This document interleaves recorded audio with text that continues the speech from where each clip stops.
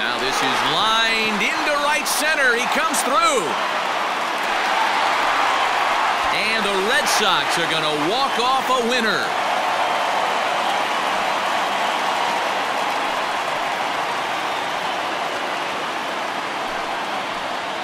Well, that at bat shows clearer than anything that some guys, they, they have that clutch gene and some guys just don't. He brings home the winning run from second and is being absolutely mobbed by his teammates. What a finish.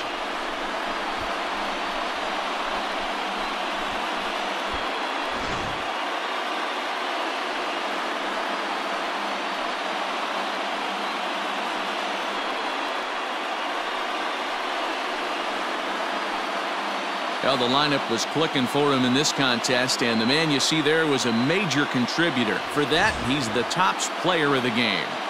He was one of a few guys that really swung the bat well in this game with a pair of base hits. He helped propel his team to a hard-fought win.